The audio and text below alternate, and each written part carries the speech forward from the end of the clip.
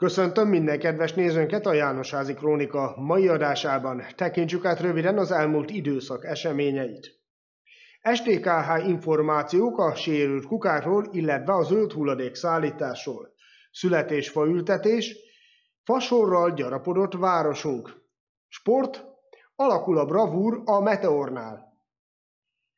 Elmaradhat a sérült, törött kukák ürítése, figyelmeztetett tájékoztatójában az STKH. A mindennapos igénybevétel mellett természetes, hogy előbb-utóbb kisebb karcok, hajszárepedések jelennek meg a kukákon. Ezekkel egészen addig nincs is gond, amíg nem teszik fizikailag lehetetlenné vagy balesetveszélyessé az edények ürítését. Az alábbi sérülések esetén maradhat el az edények ürítése.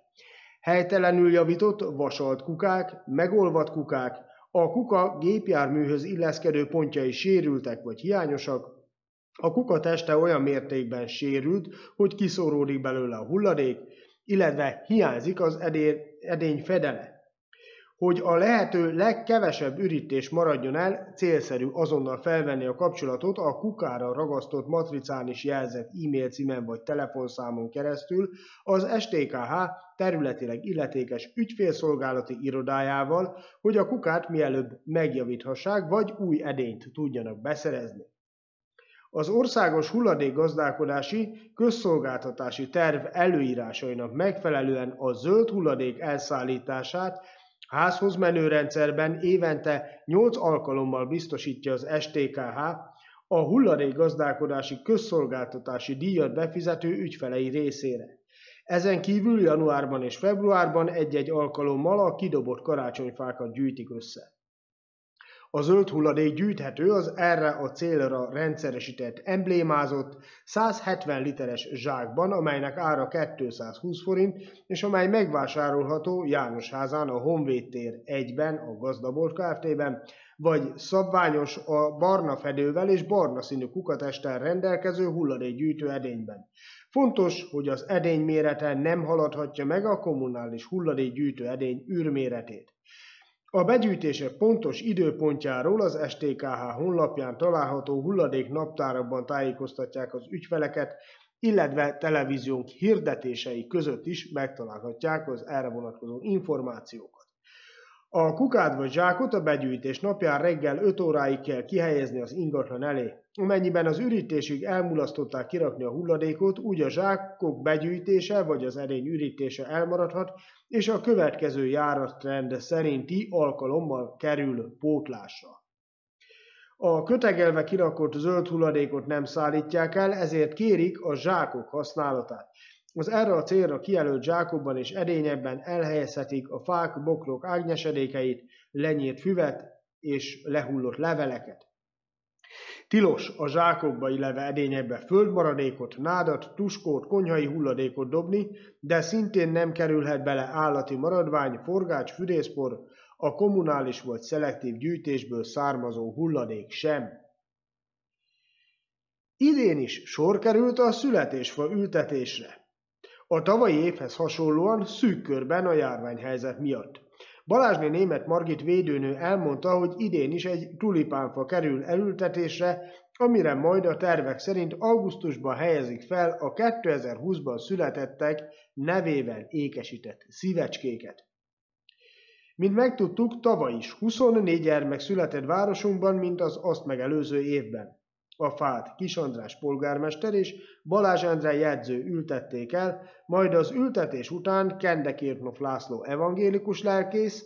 Különösen igaz ez itt ma, amikor a 2020-ban születettek fáját ültettük el, ami mindenféle szempontból az életről tesz bizonyságot.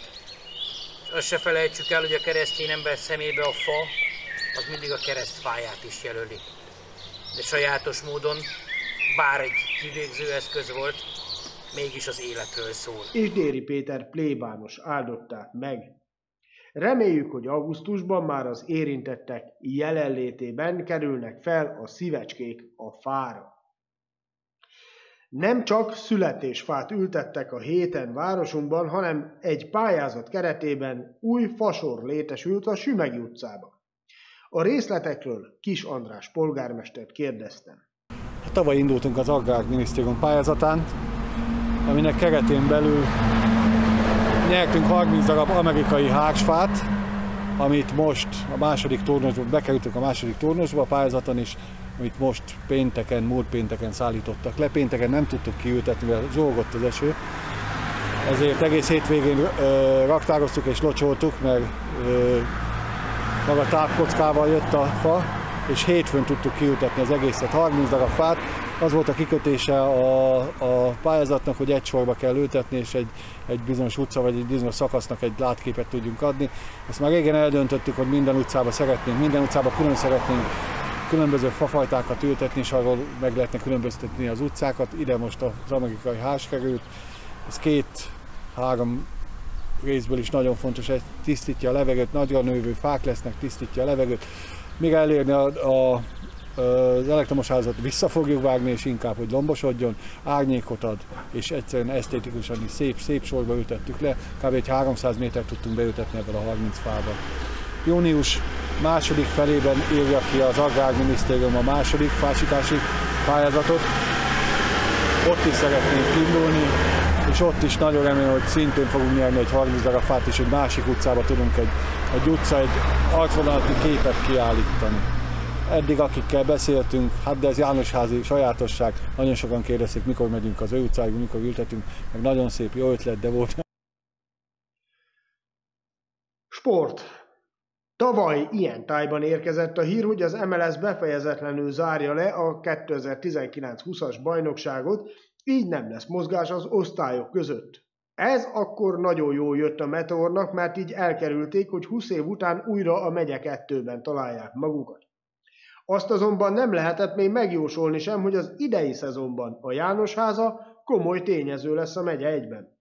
A csapatvezetés radikális lépésre szánta el magát, amikor megbízták a nagy bulttal rendelkező Molnár Károly edzőt a csapat irányításával, aki további változtatásokat is eszközölt a játékos állományban. A szezonnyitó összejövetelen pedig nem kisebb cél tűzött ki, mint hogy az első ötbe viszi a csapatot. Eddig úgy néz ki, hogy teljesíteni is tudja ezt a vállalását. Még akkor is, ha a játékosok időnként borsot törnek az óra alá. Az őszi idén simának volt mondható, tavasszal azonban kisebb hullámvasútba ült a gárda, ami a teljesítményüket illeti. Három héttel ezelőtt a király ellen elszenvedett 6 0 vereség már sötét felhőket hozott a csapat egére, majd hazai pályán a rábapagy kerekedett fölénk 3-6-os arányban. Ez volt az a pillanat, amikor ráncba kellett szedni a fiúkat. Ami úgy néz ki, sikerült is, hiszen a hétvégén Bükön 1-3-ra, szerdán pedig Kőszegen 0-1-re hozták a meccset, ezzel pedig visszakerültek a tabellán az első ötbe egészen pontosan jelenleg, a negyedik helyen áll a felnőtt csapat. Bízunk benne, hogy a hátralévő négy forduló már nem hoz komolyabb meglepetéseket. Mindeközben egy korosztályjal lejjebb az U19-ben történelmet írnak a fiúk. Még soha nem fordult elő, hogy az ifi csapat dobogos helyen végzett volna, arra meg pláne nem volt példa, hogy akár bajnokságot is nyerjenek. Márpedig jelenleg úgy néz ki, hogy erre jó esélyük van. Négy fordulóval a vég előtt 60 ponttal vezetik a tabellát az 56 pontos kőszeg előtt, akiket szerdán 2-4 arányban győztek le otthonukban. A Józsa Sándor és Vágusz Arnold vezette gárda stabil teljesítmény nyújtott az egész szezonban, még akkor is képesek voltak győzni, amikor a sérülések és lapok miatt megcsappant keretű felnőtt csapatba vittek fel kulcsjátékosokat az U19-ből. Holnap a körmendellel lépnek pályára 15 óra 30-kor, utoljára februárban találkozott a két csapat, a körmendiek otthonában akkor egy négyre a Meteor bizonyult jobbnak, reméljük hazai pályán is győzni fognak, és ezzel még egy lépést tesznek a dobogó legfelső foka felé. Hát ennyi fért mai adásunkban, megköszönöm figyelmüket, műsorunkkal hamarosan újra találkozhatnak majd a képernyőn.